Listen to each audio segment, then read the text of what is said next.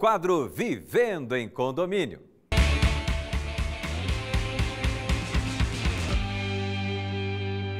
Recebo no estúdio quem entende do assunto, a Joyce Honório, síndica gestora profissional. Tudo bem? Tudo bom, Caleb? Olha, Joyce, para falar de um assunto importante, você sabia que 5% da população mundial tem pânico de entrar e utilizar um elevador, menina? Exatamente. Boa tarde a todos. E aí no seu condomínio, quando tem elevador? Dia de chuva hoje.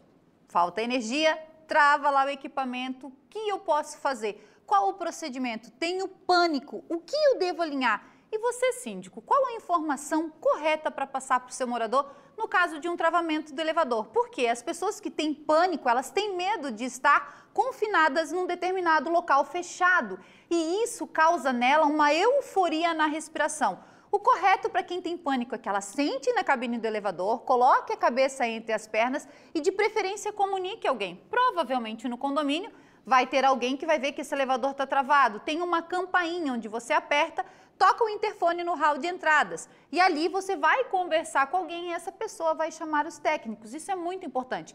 Nenhum morador pode abrir a porta da cabine para tirar ninguém de lá de dentro.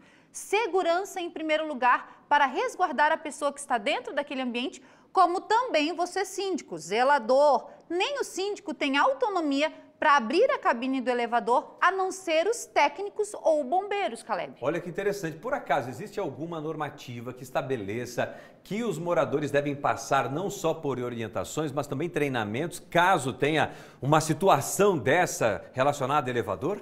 Boa pergunta. O que, que acontece? A norma ela fala sobre a manutenção, mas ela não fala sobre a empresa prestar esse treinamento. Por isso que é muito importante o morador de condomínio, o próprio síndico, seja ele um síndico profissional, seja ele um síndico morador, quando ele vai contratar uma empresa de elevador, ele prestar muito bem atenção na empresa que ele está contratando. Às vezes a gente acaba ficando com empresas grandes, porque são empresas fabricantes, mas o atendimento acaba sendo demorado para determinadas situações. E quanto uhum. mais tempo eu fico dentro, mais medo eu vou ficar de ficar travado dentro do elevador. Outra coisa é o controle das manutenções. Então, existem estágios dentro da manutenção anual. A empresa precisa emitir a RT de responsabilidade técnica. Quando você for contratar a empresa para fazer a manutenção, não vá simplesmente pelo menor preço.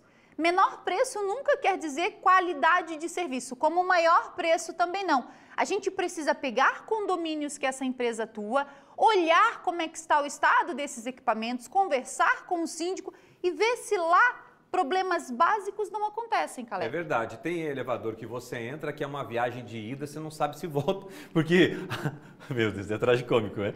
A situação do elevador, a pessoa já vai assim, ó. Meu Deus do céu, aquele medo, aquele negócio. Já se despede até de quem estava no andar. Por quê? Agora me diz uma. Caleb. Ô, gente, agora de quanto em quanto tempo é essa manutenção, Joyce? Todos os meses. Todo mês? Todo mês. E é importante salientar isso, Caleb, porque assim, ó, o elevador, quando ele começa a dar muito problema, quando ele começa a ter muito barulho, a ter situações, o síndico abre um chamado. É aberto esse chamado, existe uma RIA de manutenção que a gente fala, é, juntamente com as empresas, que vem um relatório de tudo que é pontuado. Então, essa RIA ela tem que ser enviada ao condomínio, ao síndico, a cada período, você pode estipular com a empresa que você está contratando a cada três meses, a cada seis meses. Aí é você que vai alinhar junto. Ah, mas eu não entendo nada, Joyce. Não entende? Marca com a empresa que você está conversando para sentar com você e explicar.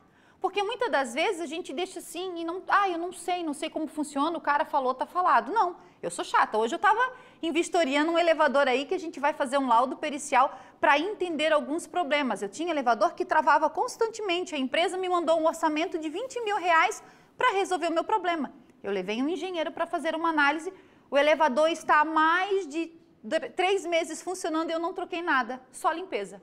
Limpeza. Só limpeza. Se não tivesse feito isso, teria gastado 20, 20 mil reais mil e não reais. teria resolvido o problema. Do dinheiro do condomínio. Exatamente. Então, esse tipo de situação, que muitas das vezes os moradores não entendem lá no condomínio, mas o síndico, ele não é detentor de todo o conhecimento. Verdade, é verdade. Ele precisa ter o quê? Ter o um engenheiro específico para elevadores, nas obras estruturais, ter pelo menos conhecimento com pessoas que atuam nesse ramo, porque senão, Caleb, ele vai ficar na mão dos prestadores de serviço, como a gente já falou lá nas manutenções de fachada, ele não vai conseguir debater determinadas situações. Eu fui fazer um curso dentro de uma empresa especializada em elevadores para entender um pouco da manutenção. Não sou técnica, não retiro ninguém dentro do elevador. Tem acontecido muito em alguns condomínios na nossa região de zeladores abrirem a porta para tirar moradores ou moradores abrindo porta para tirar morador. Se essa pessoa cair no fosso do elevador, ela pode morrer. Então, assim, ó, você não sabe o pânico que a pessoa está lá dentro, Caleb. É verdade. Muito cuidado, orientações de quem entende do assunto. Joyce Honório, obrigado pela participação. Vamos a lá o Instagram, o YouTube. Vivendo Na em semana que vem tem, Tem no. Vivendo em Condomínio tem podcast. Vamos falar sobre manutenção de piscina. O que isso pode trazer para a pele, como controlar todo esse controle de uso de produtos. A gente vai falar no podcast semana que vem. Obrigado, Joyce. Fechou, Caleb. Um abraço, bom trabalho.